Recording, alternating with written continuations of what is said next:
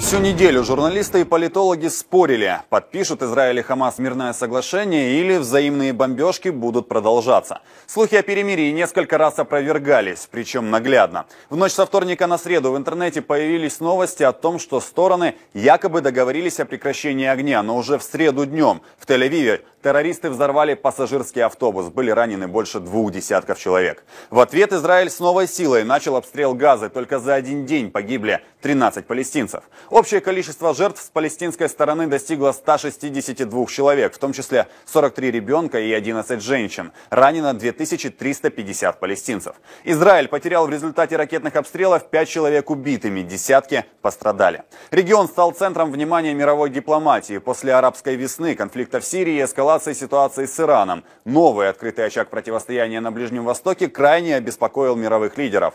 И вот в среду вечером при активном посредничестве ООН, США и Египта. Перемирие действительно было подписано. Правда, и премьер Израиля Беньямин Нетаньяху и лидер Хамас Халед Машаль заявили о готовности в любой момент снова взяться за оружие. О том, кто спровоцировал войну, ходит множество версий. Первая из них – конфликт за два месяца до парламентских выборов развязало правительство Израиля. Традиционно война с Хамас позитивно сказывается на рейтингах правящей партии. Но в этот раз вышло немного иначе. По данным опроса, в рейтинге Нетаньяху после конфликта несколько упали.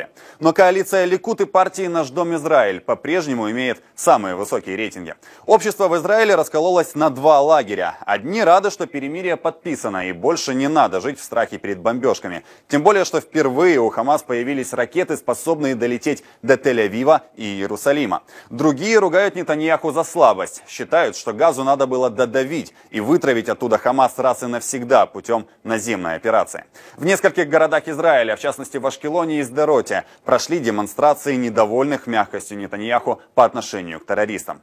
Некоторые эксперты считают, что война выгодна самой Хамас. Они объявили себя победителями конфликта и заработали репутацию защитников Газы. Тем более, что по условиям перемирия Израиль частично снимает блокаду сектора.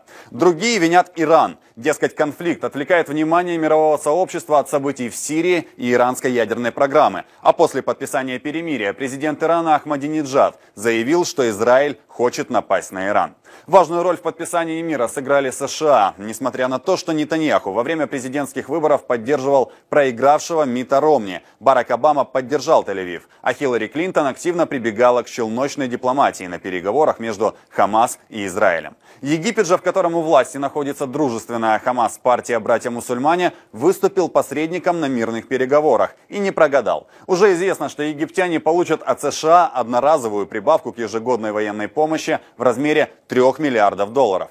Обещал ли Вашингтон какой-то бонус Израилю и Хамас за прекращение огня, наверное, останется тайной. Будет ли перемирие в арабо-израильском конфликте соблюдаться, пока неизвестно. Но после его подписания стороны продолжают обстреливать территорию друг друга. Владимир Полуев, Артем Пономаренко, телекомпания АТВ.